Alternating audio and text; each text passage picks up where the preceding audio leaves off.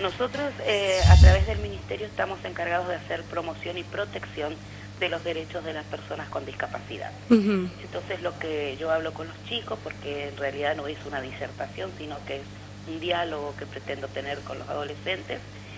Y bueno, le cuento mi experiencia de vida, eh, cómo quedé ciega, cómo cambió mi vida a partir del momento de que me convertí en una persona discapacitada. Y cuáles son las necesidades, ¿no es cierto?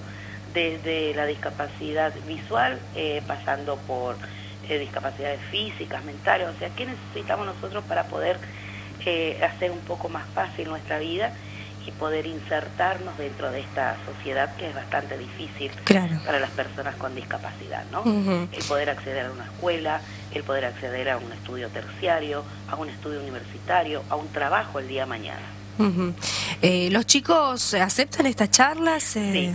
¿Sí? tenemos muy buena aceptación, los chicos enseguida empiezan a participar, a preguntar, eh, les llama la atención, eh, hay preguntas que se dan en todas las charlas, son recurrentes, eh, que son muy, muy llamativas para ellos, ¿no es cierto? Que capaz para nosotros es muy cotidiano y bueno, para ellos siempre surgen algunas preguntas que se repiten. Claro. Y sí, se interesan mucho, participan. en la mayoría de las veces después hemos tenido comentarios de los docentes o cartas de la institución diciéndonos que los chicos eh, a partir de ese momento o tuvieron un cambio con respecto a algún compañero o algún chico del barrio que es discapacitado y que antes eh, como lo, dejaban de lado y ahora lo, habían empezado a invitar a tomar un tere a la salida de la escuela.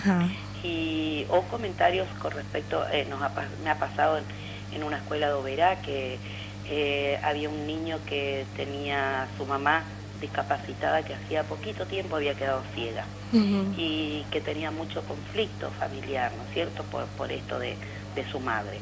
Y que después de la charla que, que yo le había dado ahí a la escuela, que la madre se acercó a la institución a decirle que el chico produjo un cambio extraordinario en el trato hacia la madre. qué lindo, ¿eh? la concientización no solamente con el entorno de los chicos, sino que también de, la escuela, sino que también con sus familias y con su, en, su barrio. Exactamente, exactamente. Acá también pasó en la PED número uno que nos habían llamado para dar charlas porque eh, por ahí cerca había una chica, una niña Down, que dice que los chicos del séptimo cuando pasaban a la salida del colegio se burlaban. Entonces, bueno, una de las celadoras que me conoce de otro ámbito me invitó y fuimos y le dimos unas charlas. Eh, en esa oportunidad fue séptimo, primer año y segundo año. Y bueno, después nos volvieron a llamar para los años superiores también, porque dice que a partir del momento que nosotros habíamos ido, los chicos cambiaron la actitud hacia esa criatura. que pasaban que si ella les charlaba, ellos le daban charla, eh, no se burlaban, no se reían, no, no, le hacían morisquetas, nada más a partir de ese momento. Usted nota en, estas charlas eh, que, que, hacen ¿no? en, diferentes escuelas, eh, nota que falta concientización de parte de toda la sociedad. Mira, yo siempre digo que acá el, que discrimina es el adulto. Por eso justamente apunto estas charlas a los adolescentes y jóvenes, porque son los que todavía están puros y, les entra y les llega esto de vamos a hacer un poquito mejor con personas que tal vez les es un poco más difícil la vida que para otro es fácil, ¿no? Mm. Nadie tiene una vida fácil, ni convencional, ni discapacitado, nadie tiene una vida tremendamente difícil tampoco. Pero necesitamos un poquito de ayuda para poder insertarnos en determinados lugares. Pero es el adulto el que mal enseña esto de discriminar o de burlarse. Lo que vos aprendés a tu casa es lo que vos transmitís. Una maestra, un docente adelante de un aula no te va a enseñar a burlarte de otra persona, sea lo que sea, ¿no es cierto? Mm. Sea por discapacidad o por religión o por color. El docente no te va a enseñar a salir y reírte de, del petizo. Mm. No, esto se aprende en la casa porque el padre o la madre comenta, no te juntes con ese petizo, ay, no le des bolilla a ese que es ciego, eh, no hagas tal cosa con el tartamudo. Y ahí el chico aprende a discriminar, ¿no? Mm. pero todavía está a tiempo de, ver otra versión y de decir, bueno, quiero ser un discriminador o no. Claro.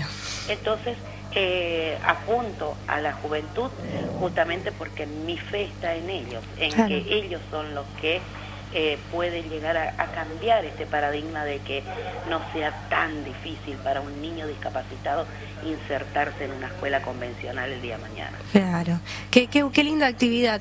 ¿Y mm, eh, los, algún número de teléfono, alguna algún correo que ustedes pueda, me pueda decir para, para las escuelas? Los teléfonos que, que pusimos en el Face son el 444 6514 el 444-8724 y nuestro correo institucional es d de dedo h guion bajo promoción equidad todo junto arroba misiones.gov.ar Ahí quedó.